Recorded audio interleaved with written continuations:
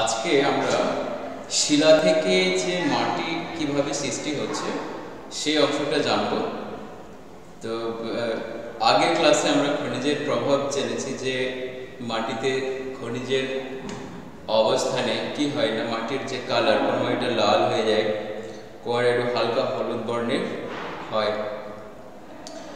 এরকম কিছু রঙের আমরা পার্থক্য দেখতে পাই লোহা অথবা অক্সের সমৃদ্ধ ভূমির উপস্থিতিতে কি হয়ে যায়? মাটি বেশ শক্ত এবং লাল রঙের হয়। জিপসামি ভূমি নরম হয় এবং হালকা রঙের হয়। ঠিক আছে, এই অংশটা জেনেছিলাম এবং চুনাপাথর সৃষ্ট যে কি বলব? চুনাপাথর সৃষ্ট যে মাটিগুলো রয়েছে, সেখানে কি ঘটনা ঘটে না? সেখানে নরম হওয়ার জন্য সছিদ্র এবং প্রবেশ্য, প্রবেশ্যতা শিলার মধ্যে লক্ষ্য করা যায়। তো পরের অংশে শিলা থেকে মাটি কীভাবে সৃষ্টি হচ্ছে সেই অংশটা জানব। তো কি হয় না, প্রাথমিক অবস্থায় যেটাকে আদিশিলা বলছে মানে যেটা প্যারেন্ট রক, যেখান থেকে মাটিটা তৈরি হচ্ছে, একটা শিলা চূর্ণ বিচূর্ণ হয়। বিভিন্ন প্রাকৃতিক শক্তি দ্বারা। ঠিক আছে? এবং সেই শিলা থেকে, সেই শিলাটিকে প্যারেন্ট রক বলছে, যেখান থেকে পরে কতগুলো পর্যায়ের মধ্য দিয়ে মাটিটা সৃষ্টি হয়। তো আদি শিলার উপর শিলাচূর্ণ ও জৈব পদার্থ জৈব পদার্থ প্রাণীদেহ এবং উদ্ভিদ দেহ থাকে এবং কিছু আণুবীক্ষণিক জীব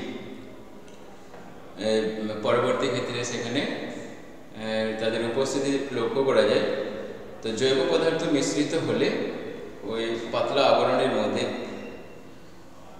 যার উপরে জীবকুল অবস্থান করে এবং যারা উদ্ভিদ হ্যাঁ তারা বেড়ে ওঠে, তাদের বংশবৃদ্ধি হয়, তারা ওই জায়গা থেকে হ্যাঁ খাবার পেয়ে থাকে। তো কি হয় না আদিশিলা প্রাথমিক অবস্থাতে চূর্ণ বিচূর্ণ হয়। বলছে যে বিভিন্ন প্রাকৃতিক শক্তি যেমন নদী, বায়ু, বৃষ্টিপাত, সমুদ্র, তরঙ্গ, হিমবাহ দ্বারা বহুদিন ধরে শিলা ও শিলা গঠনকারী খনিজগুলো ক্ষয় হয়ে সূক্ষ্ম শীতল শিলাচূর্ণ রূপে অবস্থান করে। সেটাকে রেগলিত বলছে হ্যাঁ তো প্রাথমিক অবস্থায় কি হয় না এখানে এখানে একটা আহ, যেটা হচ্ছে প্রাথমিক অবস্থাতে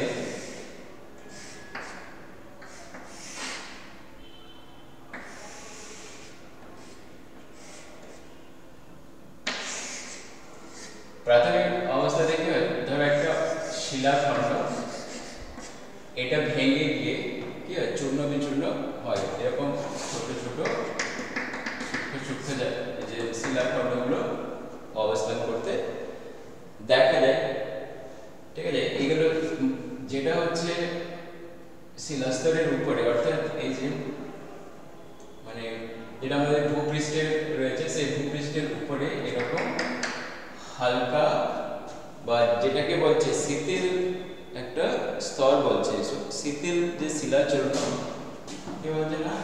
একটা হচ্ছে শিথিল। আলগাভাবে যেটা লেগে থাকে। ঠিক আছে? শিলাচূর্ণ অবস্থান করে। এটা কি করে হয় না? এটা আবহবিকারের বলে আবহ বিকার এখানে আবহাওয়া বিকার অর্থাৎ আবহাওয়ার বিভিন্ন উপাদানগুলো যখন শিলাটাকে বিকৃতি ঘটে শিলাকে চূর্ণ, বিচূর্ণ করে, ঠিক আছে? এইভাবে শিলার চূর্ণ, বিচূর্ণগুলো এখানে অবস্থান করে, ঠিক আছে? একে কি বলছে? একে রেগোলিক বলে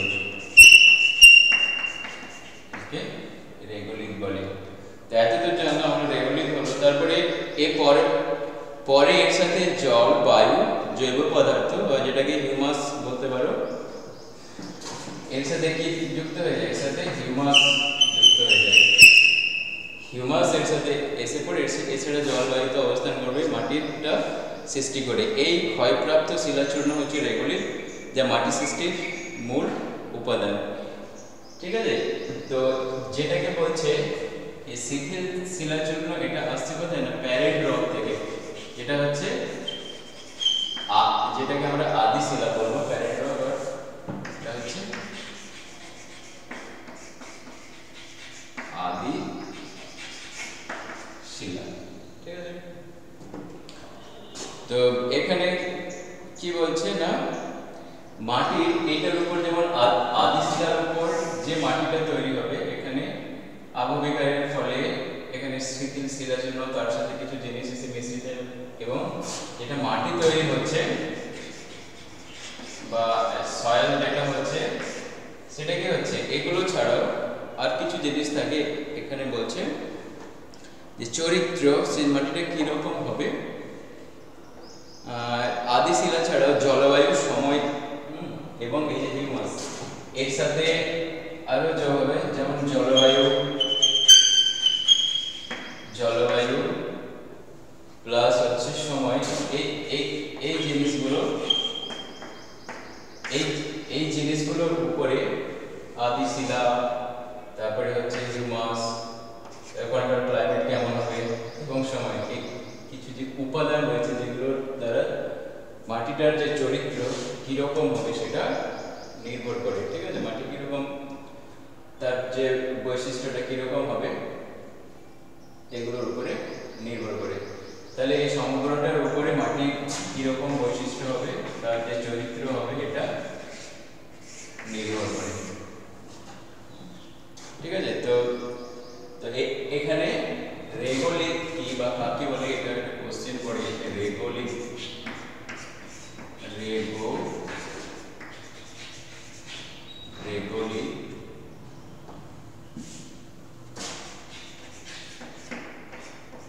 কি বা কাকে বলে এটা কোশ্চেন পড়ে ঠিক আছে তো তাহলে আদি শিলা চূর্ণ বিচূর্ণ হয়, সেটা ভূপৃষ্ঠে পড়ে থাকে। ভূপৃষ্ঠে পড়ে থাকে, তার পরবর্তীকালে আরও কিছু উপাদান এসে পড়ে এবং যার মধ্যে হিমাস হচ্ছে একটা গুরুত্বপূর্ণ মাটিটা সৃষ্টি হচ্ছে। এরপরে ধরো যে একটা শিলা যেমন যে ব্যাসল্ট শিলা কিংবা বেলে পাথর গ্রানাইট, এগুলো যখন চূর্ণ বিচূর্ণ হয় এবং কীভাবে একটা বিশেষ ধরনের বৈশিষ্ট্যের মাটিটা তৈরি করে। যেমন বলছে ব্যাসল্ট হ্যাঁ ঠিক আছে। আগ্নেয় শিলা শিলায় গঠিত মাটির রং হয় কালো। এই মাটির কণাগুলো খুব সূক্ষ্ম হয়, জল ধারণ ক্ষমতা খুব বেশি হয়। ঠিক আছে? তো কাছাকাছি থাকে কণাগুলো এবং যে গ্যাপ যেটা একটা কণার সাথে আরেকটা কণার মধ্যেকার যে গ্যাপ সেটা খুব ছোট হয়। জল নিচে যেতে পারে না যেন জল ধারণ ক্ষমতা খুব বেশি হয়। জলটাকে ধরে রাখে। তাই চাষের পক্ষে, বিশেষত গম এবং তুলো চাষের পক্ষে মাটি হয় আদর্শ। ভারতের দাক্ষিণাত্য মালভূমি, ঠিক আছে? তো দাক্ষিণাত্য মালভূমি হচ্ছে কি? ব্যাসল শিলা দিয়ে গঠিত একটা ভূমিরূপ এবং এই এই অংশে যে মাটিটা তৈরি হয়েছে, সেটা ধরনের হচ্ছে যেটাকে ব্ল্যাক কটন সয়েল বলে বা কালো মৃত্তিকা বলে রেগুড সয়েল বলা হয়। দাক্ষিণাত্য মালভূমি ডেকান ট্রেপ অঞ্চলে এই মাটি লক্ষ্য করা যায়। বেলে পাথরযুক্ত অঞ্চলের বেলে মাটি বালি থাকে, যেখানে স্যান্ডের একটা পরিমাণ থাকে। তো, এবং এই রঙটা কীরকম হয়? হালকা হলুদ, যেখানে কি হবে না জিপসাম থাকলে মাটির রঙটা হলুদ হয়ে যায়। ধূসর বাদামি হতে পারে। এই দানাগুলো বেশ বড় হয়। দানা বড় হলে কি হবে যে, গ্যাপ মধ্যেকার যে গ্যাপ পোর্শন সে অংশটা অনেক বড় হয় এবং জল খুব নিচের দিকে চলে আসতে পারে। জল ধারণ ক্ষমতা সে কারণে কম হয়। তাই চাষের জন্য এই মাটি অনুকূল নয়। ভারতীয় রাজস্থান, আমাদের যেটা পশ্চিমে যে একটা মরুভূমি রয়েছে রাজস্থান, মরু রাজস্থানে থর মরুভূমি রাজস্থানের সেই অংশে ধরনের বেলে মাটি লক্ষ্য করা যায়। তারপরে রয়েছে গ্রানাইট একটি শিলা। সেখান থেকে কি ধরনের মাটি সৃষ্টি হতে পারে? হ্যাঁ তো এটা হচ্ছে গ্রানাইট থেকে যে সৃষ্টি হয় শিলায় গঠিত অঞ্চলের লাল মাটি, যেটা রেড সার লাল মাটি হয় এই মাটিতে জৈব পদার্থের জৈব পদার্থের তুলনায়, এটাও অপবিকারের ফলে সৃষ্টি হয়। তুলনায় খনিজ পদার্থের কি থাকে না? লোহার অক্সাইড, ঠিক আছে? লোহার অক্সাইডের পরিমাণ বেশি থাকে বলে এটা লাল দেখায়। মাটি খুব শক্ত ধরনের, চাষের চাষের পক্ষে বেশ অনুকূল চূর্ণাপুর মালভূমিতে এই ধরনের মাটি লক্ষ্য করা যায়। ঠিক আছে?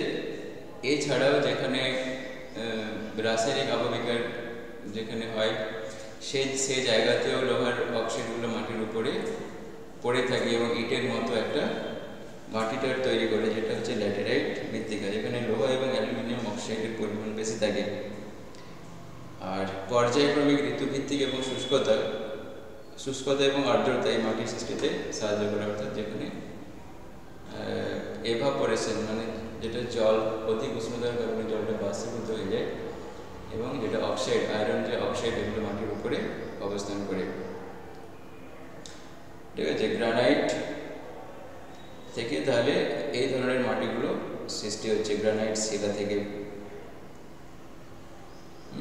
লোহিত মৃত্তিকা তারপরে যেখানে ধরো ল্যাটেরাইট মৃত্তিকা ছোটনাগপুর মালভূমিতে এই ধরনের মাটিগুলো লক্ষ্য করা যায় আর এটা হচ্ছে পলি মাটি পলি মাটিতে কি হয় সাধারণত পলি মাটি এই এই অংশে ধরো আবহাওয়ার ফলে চূর্ণ বিচূর্ণ হয়েছে। তো এই চূর্ণ বিচূর্ণ চূর্ণ বিচূর্ণ শিলাখণ্ডগুলো একটা জায়গাতে অপসারিত হয়ে যাবে ঠিক আছে? কখনো নদী দিয়ে হতে পারে কিংবা বায়ু প্রবাহ দিয়ে হ্যাঁ, বায়ু প্রবাহ দিয়ে উপরে উঠিয়ে নিয়ে যেতে পারে ঠিক আছে নদী নদী হতে পারে বা বায়ু প্রবাহ হতে পারে। এগুলো কি করে না এটাকে অপসারিত করে অন্য জায়গায় জমা করে ঠিক আছে অবনমিত জায়গাতে জ- জমা করতে পারে কিংবা কোনো নদী অববাহিত অঞ্চলে জমা করতে পারে তাই বলছে যে বেশিরভাগ ক্ষেত্রে এগুলো দ্বারা পরিবাহিত হয় সেই সেই জন্য ধরো এই জায়গাতে এসে পড়েছে তো এখানে আদিশিলার সাথে এই এই মাটিটার যেটা হচ্ছে পলি মাটি যেটা সৃষ্টি হয়েছে তার পার্থক্য লক্ষ্য করা যায় মানে আদিশিলা বা প্যারেট রকের সাথে ওই জায়গার মাটিটার পার্থক্য লক্ষ্য করা যায় কারণ সেটা কি সেটা তো অন্য জায়গা থেকে উড়ে এসেছে হুম। ধরো আহ, যেটা হচ্ছে পম্পাস পম্পাস অঞ্চলের ওখানে প্যাটাগোনিয়া যেটা যেখানে মরুভূমি রয়েছে আর্জেন্টিনাতে সেই অঞ্চলের বালিগুলো যখন আসে তো আহ, পম্পাস অঞ্চলের মাটির সাথে মিল লক্ষ্য করা যায় না মানে যেটা আদিশিলা থেকে যে পম্পাস অঞ্চলের যে মৃত্তিকার তৈরি হয়েছে কারণ সেটা অন্য জায়গা থেকে এরকম করে পরিবাহিত হয়ে এসছে কিংবা হংহন নদী অববাহিকায় যেখানে বালিগুলো অপসারিত হয়ে এসছে সেই সেই অংশের সাথে কি হয় না একটা পার্থক্য হয় এখানে সেখানে এটা কি বলতে চেয়েছে পলির চরিত্র নির- নির্ভর করে যে অঞ্চল থেকে পলির সৃষ্টি হয়েছে সেই অঞ্চলের পৃষ্ঠশিলার উপর চাষের পক্ষে এটা সবচেয়ে বেশি উপযোগী এবং অনেক বেশি এখানে মিনারেলস থেকে খনিজ সমৃদ্ধ হয়। এই জন্য এটা অনেক বেশি উর্বর হয়। উত্তর ভারতের উত্তর ভারতের সমভূমির মাটি হচ্ছে এই প্রকৃতির হ্যাঁ? তো নদীগুলো বিভিন্ন জায়গা থেকে এগুলোকে অপসারিত করে নিয়ে এসে এগুলো এক জায়গায় জমা করে। আচ্ছা পার্বত্য অঞ্চলের মাটি, পার্বত্য অঞ্চলের মাটিতে কি হয় না এখানে। বিভিন্ন ধরনের বিভিন্ন আকারের শিলাখণ্ড লক্ষ্য করা যায় এবং যে মৃত্তিকার যে স্তর সেটা খুব পাতলা হয়। পাতলা মাটির আবরণ তৈরি থাকে। পাথুরে মাটি খুব অনুর্বর। কারণটা হচ্ছে কি? না ওখানে ওখানে যেটা হচ্ছে মাটি সৃষ্টির মাটিটা ওই ওই জায়গায় মাটিটা তো গড়িয়ে পড়ে। যেগুলো খুব ঢাল রয়েছে। তো মাটি সেখানে সৃষ্টি হতে পারে না। এই জন্য সেখানে কি হবে না? খুব পাতলা হবে। পাতলা ধরনের মাটির স্তর করা যায়। এই পাথুরে মাটি খুব অনুর্বর হয়। হিমালয় পার্বত্য অঞ্চলে পার্বত্য মাটি লক্ষ্য করা যায়। বোল্ডার এবং বিভিন্ন ধরনের নুড়ি কাপড় মিশ্রিত। আরেকটা হচ্ছে লবণাক্ত মৃত্তিকা, যেটা হচ্ছে উপকূল অঞ্চলে বা বদ্বীপ অঞ্চলে এগুলো লক্ষ্য করা যায়। তো লবণাক্ত লবণ, সমুদ্রের জলে প্রচুর পরিমাণে লবণ থাকে। তো এই লবণগুলো কি হয় না, জল যখন ভূপৃষ্ঠের উপর দিয়ে যেটাকে প্রবাহিত হয় যখন জল যেটা সারফেস রানওয়ে মানে যেটা একদম পৃষ্ঠের উপর দিয়ে জল বৃষ্টি হলে কি হয়? সমগ্র ভূপৃষ্ঠটা কিন্তু ধুয়ে মুছে চলে যায় যখন। ওটা জল যখন ওখান দিয়ে যায় তখন অনেক শিলার সাথে তার, অনেক শিলার সাথে সংস্পর্শে আসে। এবং কি হয় সেটা সমুদ্রে গিয়ে মেশে এবং অনেক সময় সমুদ্রের ধারের শিলাচূর্ণ জোয়ার জোয়ারের জলের সংস্পর্শে উপকূল অঞ্চলেও আসতে পারে এবং কি হয়? পরবর্তী ক্ষেত্রে উপকূল অঞ্চলে মাটিতে সামুদ্রিক লবণের হ্যাঁ, বিশেষ করে সোডিয়াম অত্যধিক পরিমাণে মিশে থাকে। এই মাটিতে ম্যানগ্রোভ উদ্ভিদ জন্মায়। পশ্চিমবঙ্গের সুন্দরবন অঞ্চলে এই ধরনের মাটি লক্ষ্য করা যায়। ঠিক আছে? পরবর্তী ক্ষেত্রে সুনামির সময় কী হয়? যে উপকূল অঞ্চলে প্রচুর বা সামুদ্রিক জলে প্লাবিত হয়ে যায়। তো পরবর্তী ক্ষেত্রে কী হয় জলটা? যখন উড়ে চলে যায় বা স্থিত হয়ে যায়, তখন কী হয় না, সেটা লবণের পরিমাণ সেই মৃত্তিকাতে লক্ষ্য করা যায়। তো এই মাটিও কৃষিকাজের পক্ষে অনুপযোগী। আর একটা দেখো, এখানে একটা মাটির মধ্যে ঠিক ফাটল লক্ষ্য করা যায়, এই যেটা হচ্ছে কাদা মাটির মধ্যে। কি হয় না, জল ওখান থেকে বেরিয়ে গেলে এটা মাটিটা ফেটে যায়। কাদা পাথরের পলি এবং কাদা দ্বারা তৈরি কাদা মাটির কণাগুলো খুব সূক্ষ্ম হয়। সচিত্র এবং জমানবদ্ধ হয় অপ্রবেশ্য এবং অতিরিক্ত পরিমাণে জল ধারণে সক্ষম। এর উর্বরতাও কিন্তু মাঝারি প্রকৃতির। তাহলে এরকম এই যে মাটিগুলো হয়েছে, সেই মাটিগুলোতে ধরো কিছু আছে উর্বর, কিছু আছে অনুর্বর হ্যাঁ আর কিছু হচ্ছে স্বাভাবিক প্রকৃতির যেগুলো হচ্ছে যেগুলোতে কী হবে না, চাষবাস সম্ভব, কৃষিকাজ করা সম্ভব, কিন্তু যেগুলো হচ্ছে মরু মৃত্তিকা লবণাক্ত মৃত্তিকা, সেগুলোতে কী করতে হয় না? মাটিটাকে ঠিক নিউট্রাল পজিশনে মানে একটা প্রশমিত অবস্থায় নিয়ে আসতে গেলে সেটা, সেখানে অনেক বেশি সার, সারের প্রয়োগ করতে হয় ফার্টিলাইজারের প্রয়োগ করতে হয়। তো সাধারণত কী হয়? পলি মাটি হচ্ছে ন্যাচারালি সেটা উর্বর হয় প্রাকৃতিকভাবে উর্বর হয় এবং সেখানে কৃষিকাজ খুব ভালো হয়। তাহলে সেদিক থেকে দেখতে গেলে প্রত্যেকটা যে মাটি, যে বিভিন্ন শিলা থেকে যে মাটিগুলো তৈরি হয়েছে, সেগুলো কৃষিকাজের পক্ষে কিছু উপযোগী হয়, কিছু অনুপযোগী হয়। যেগুলো উপযোগী স্বাভাবিকভাবে তাদের সেই সেই জায়গাতে যেটা হচ্ছে ভূমির ব্যবহার অনেক বেশি হয়। হ্যাঁ এবং সেগুলো উদ্ভিদ সহ সমগ্র প্রাণীগুলোকে কী করি না, খাদ্য সরবরাহ করে আবার যে মাটিগুলো থাকে সেই মাটি সমস্ত জীবগুলোকে ধরে আছে। ঠিক আছে? তো সেই মাটিগুলোতে কিছু কি বলব, কিছু অণুজীব সেই অংশে বসবাস করে। হ্যাঁ তো এখানে এখানে দেখো বিশেষ কিছু শিলা যেগুলো হচ্ছে বিভিন্ন ধরনের আমাদের, আর কাজকর্মে। অর্থাৎ বিভিন্ন তাদের একটা একটা ইম্পর্টেন্স আছে, নির্মাণ কার্যে। এখানে দেখো ব্যাসল ব্যাসল্টের দিয়ে যেগুলো তৈরি, সেগুলোর এখানে ছবি দেওয়া আছে দেখো, বিভিন্ন রকমের এখানে এদের রেল ট্র্যাকের ছবি দেওয়া আছে কনস্ট্রাকশন প্রাচীরের ছবি দেওয়া আছে এবং একটা এরকম একটা যেটা হচ্ছে বাড়ির কিছু যে জিনিসগুলো আছে, সেগুলো তৈরিতে কাজে লাগে। গ্রানাইট তৈরিতে দেখো, এখানে ফ্লোরে দেওয়া হয়েছে। কিচেনে দেওয়া হয়েছে, এগুলো বিভিন্ন মানে বাড়ির তৈরির কাজে ব্যবহার করা হয়। পালিসার ক্ষেত্রেও বেলে পাথর খুবই শক্ত হয় এবং এটাও অনেক নির্মাণ কার্যে দেখো ব্যবহার করা হয়েছে। চুনা পাথর সাদা ধরনের হয় বলে ভূমধ্য সাগরের এখানে ইতালিতে এই ধরনের কিছু বাড়ি যেগুলো এই ধরনের শিলা দিয়ে তৈরি হয়েছে। রূপান্তরিত স্লেট হয়, স্লেট স্লেটের এরকম পাতলা চাদর থাকে, সেই সেই কারণে দেখো এখানে বাড়ির যে ছাদ এগুলো নির্মাণ করা হয়েছে। মার্বেল দিয়ে অনেক যেগুলো হচ্ছে স্মৃতিসৌধ কিংবা বাড়ির মেঝে থেকে বাড়ির বিভিন্ন বিভিন্ন রকম জিনিসপত্র তৈরিতে এগুলো ব্যবহার করা হয়। তাহলে কি আমাদের জীবনে শিলার একটা প্রভাব রয়েছে। ঠিক আছে? ঘর বাড়ি নির্মাণ থেকে শুরু করে রাস্তাঘাট, আর হচ্ছে বিভিন্ন স্মৃতিসৌধ। অর্থাৎ কি না, এর বাণিজ্যিকও একটা, বাণিজ্যিক একটা গুরুত্ব রয়েছে। তারা কি কি জানলাম না? প্রথমে হচ্ছে আদিশিলা আদিশিলা আবহবিকার হচ্ছে। আবহবিকার হয়ে চূর্ণ বিচূর্ণ হয়ে পদার্থগুলো ভূপৃষ্ঠে পড়ে থাকছে। তার সাথে জৈব, যেগুলো হচ্ছে অজৈব উপাদান এসে মিশছে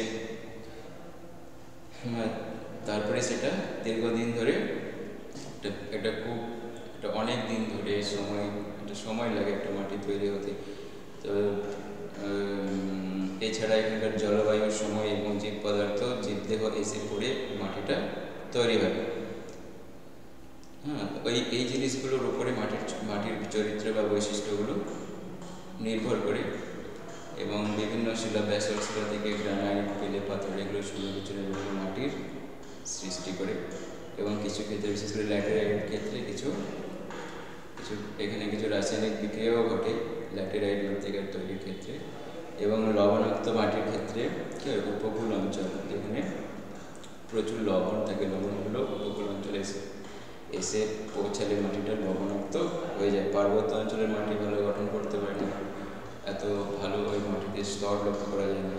এবং কাদা মাটি যেখানে কাদা, অর্থাৎ ক্লের পরিমাণ স্যান্ড সেল যেটা ক্লে আছে খুব সূক্ষ্ম সূক্ষ্ম কণা, যেখানে এসে কণাগুলো মিলিত হয়ে, সংঘবদ্ধ হয়ে এগুলির মাটিটা তৈরি করে। ঠিক আছে? তাহলে শিলা থেকে কীভাবে মাটির সৃষ্টি হচ্ছে এবং আমাদের জীবনে শিলার, আমাদের জীবনের বিভিন্ন ক্ষেত্রে শিলার বিভিন্ন রকম ব্যবহার রয়েছে। এখন ধরো যে ব্যাসল যেটা হচ্ছে এখানে কি বললাম রেগোলিত রয়েছে।